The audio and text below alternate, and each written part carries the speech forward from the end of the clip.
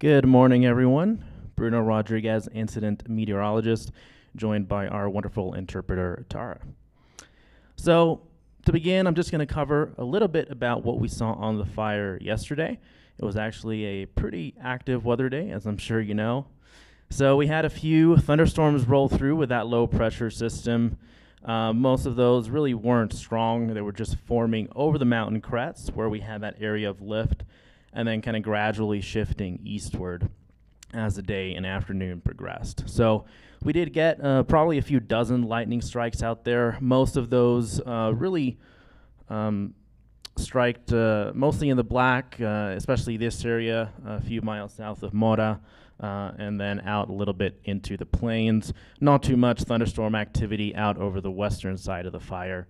Uh, we saw a few outflow gusts with those, uh, mostly 30 to 35 miles an hour. We didn't quite reach that 40 mark, which was a good thing uh, for firefighters on the ground. Um, then also good news is that they didn't really drop much in the way of any precipitation. You know, they were very fast moving, uh, and they were still in their pretty infant stages over the fire. As they progressed eastward into the plains, they got heavier and produced some more measurable precipitation out there. But as far as the fire itself is concerned, for the most part, we saw gusts, uh, sorry, um, precip in the range of one to two hundredths. A couple places a little bit more, especially around uh, El Porvenir here in the uh, middle of the uh, footprint here. Northern areas got a little bit more, but generally still even up there near Angel Fire, less than a tenth of an inch of precipitation.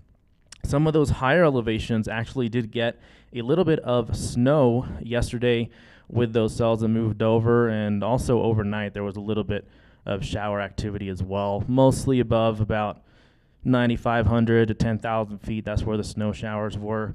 Dropped about a half to one inch of snow. We have some satellite imagery up here from this morning, and you can just barely see that footprint of snow up on the higher elevations of the Sangre de Cristo Mountains. Uh, notice just in the uh, time span of this morning how quickly that snow is melting. You can visibly see that. We're in late May, so sun angle is getting to be pretty significant, which is really helping to melt that snow. Also, quite a bit warmer today with those clear skies and lots of sun hitting the landscape. So, as far as precipitation uh, goes, you know, it was certainly good to mitigate fire activity yesterday, but isn't really going to do much to mitigate things moving forward. For that, we really need what we call uh, wetting rain. Uh, wetting rain is uh, really a bit of a subjective uh, threshold depending on where you are. It can vary depending on uh, soil and vegetation conditions and how the rain falls, but it's uh, what we refer to as the amount of rain needed to significantly mitigate fire danger, at least temporarily, and we really didn't see that yesterday, unfortunately. So with that, uh, we also saw some pretty light winds last night, uh, mostly terrain-driven stuff. Uh, in other words, downslope, down canyon winds on this western half of the fire. Um, and I think there was a comment yesterday um, on the video about diving into a little bit more detail on terrain-driven winds. So I'm going to do a little bit of a mini deep dive uh, into terrain-driven winds now. Thanks, Devo, right on that. All right, so terrain driven wind is something that we talk about a lot on fires when it comes to fire weather. It's a critical pattern um, in terms of influence on fire activity, and uh, it's something that firefighters are very keyed in on. So, in an area like this with such complex terrain, this is one of the very, let's say, classic features that you see out there on a really regular basis. Uh, so, in terms of local microclimates, um, this really plays a key role around here. So how does it work? So there are a couple terms that we typically associate with terrain-driven winds. The first is going to be upslope or downslope winds. So upslope wind, as the name suggests, is just wind that moves from the bottom of a slope or a hill up towards the top of the slope. And what we typically see is development of these winds sometime during the morning hours. The exact time kind of depends on the uh, direction that that slope faces, um, as well as the time of year, sun angle. So what happens is the top of the slope start to get solar insolation in the morning. That solar insolation helps to heat the air temperatures near the surface. And as you get heating of the air, that air becomes essentially less dense or lighter, right? And lighter air wants to rise. You're essentially creating a little bit of mini instability near the surface. So when you do that, you get some air rising near the top of the mountain slopes, and it basically acts as a vacuum, right? It's sucking air from the surface, and that air has to be replaced, and that replacement air comes from the bottom of the valley. So that's how you start generating those upslope winds. Usually those are the first to start, and then one or two hours after your upslope winds, you tend to get what we call up valley winds or up canyon winds. Both terms are interchangeable. Reason this develops first is because you get that solar insolation first on the top of the slopes, whereas in the canyon, you're still shaded by the valley sides a little bit longer. So it takes a bit a bit longer to develop those up canyon winds. This is really just a rule of thumb, um, and you don't necessarily see this every day. It depends, again, on uh, the time of year, the solar insolation. It'll depend on your weather pattern at the time. The stronger your winds, the less likely you are to actually see these local wind effects. And it can depend as well on the actual terrain itself and topography, how wide the valley is, how steep uh, the sides of the valleys are. At night, you essentially get the reverse of this, and I don't have images for this, but it works a very similar way. You get cooler temperatures at night, radiative cooling, and cooler air as opposed to hotter air is going to be denser and heavier. So what you get is a downsloping and down valley, down canyon effect overnight. And that's what I was referencing from last night that we saw over on this uh, western side of the fire all along the Pecos Valley. And this really has been a pretty recurring feature over the past uh, few weeks, and it's kind of a staple of uh, the microclimate, not just here in the Sangre de Cristos, but also really anywhere with complex terrain like this. So keying in on the time of that wind shift between your downslope overnight winds and uh, when they turn upslope during the day is one of those key pieces of information that we look out for on our daily forecast because that can significantly affect uh, fire activity in the morning. All right, so that's your little science tidbit uh, for today. Looking at the forecast, so today we have a pretty good quiet weather day all around, which is good news. We're looking at fairly light winds.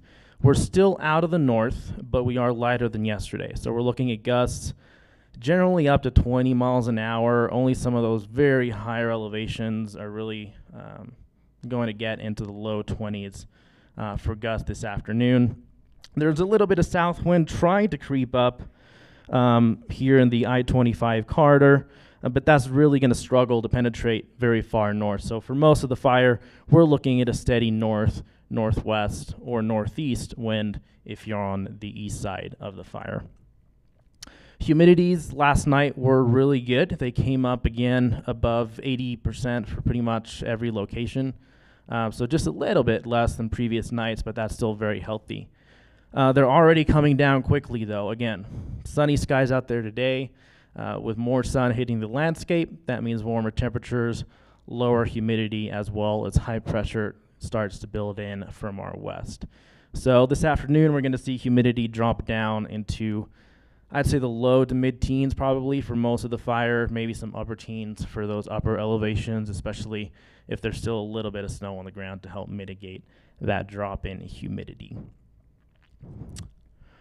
Looking on to Thursday, tomorrow, a little bit of a transition day. So we are going to start to see high pressure become more uh, dominant over the southwestern United States. With that, we're going to intensify or increase that uh, warming and that drying trend. So for tonight, we're looking at considerably poorer overnight recoveries, probably close to 45, 50%. Um, still not critical by any means, but certainly a, a, big change versus what we've been seeing in the past one, three, four days or so. Winds tomorrow should finally see a return to that southwest flow, and that's some good news. Um, That's more of a typical wind pattern for this area, um, barring, of course, any local terrain effect winds. Um, but obviously, considering that the active side of the fire is on the west here, um, the favorable wind direction is going to be out of your west or southwest. And we're going to have that pretty much persisting uh, all the week and into the weekend. Um, reason being, we have a graphic here on the left. Uh, so here is a little bit of low pressure. Um, uh, well, um, I say a little bit, and not a little bit. It's a pretty strong low pressure system, especially for this time of year on the west coast.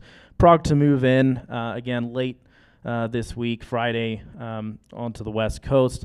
Swings in pretty nicely and then kind of stalls uh, once it reaches California and Nevada. So what that does for us is kind of wedge us between this low pressure system here and then the east um, in the east uh, central U.S. looking at some high pressure. So that's going to keep driving fairly healthy southwest winds uh, over Arizona and New Mexico uh, for the next several days once we get past Thursday. Um, and again, with that stalling, we're going to see that pretty much persist and even intensify just as it nudges very slowly eastward. So as you look as, at this uh, extended forecast, that's really the main thing that we're watching in addition to the significant drying. So we're going to be looking at increasing winds out of the west uh, pretty much every single day, nudging up those peak gusts by 5 to 10 miles an hour every day. At the moment, it's looking like Monday and Tuesday are going to be the windiest days. There is some potential for gusts to 45, even 50 miles an hour both those days. And come Friday, we should start to see humidity uh, dip into the single digits by the afternoon. Again, we saw that uh, pretty frequently earlier this month uh, during the um, active fire days. So it's definitely going to be a critical fire weather pattern and unfortunately is going to be fairly prolonged and persistent. So certainly something to watch. Overnight recoveries, especially as we head into the weekend period and early next week, dropping to 25% or less. So that's when we start to get concerned as we uh, increase that burning period um, with those low overnight recoveries. Not shown here, but another thing that we're going to be looking at is increasing uh, mixing heights, which is essentially the height at which smoke is able to rise in the atmosphere. So as we get a little bit more unstable and as we get a little bit warmer near the surface, that air is going to want to rise a little bit further up. So don't be surprised to see uh, more vertical development to smoke plumes as we head into the weekend and early next week. I will touch on it uh, just because you might be seeing on your, on your uh, weather apps uh, or hearing it on the news there are some indications of a potential pattern change for kind of the second half of next week.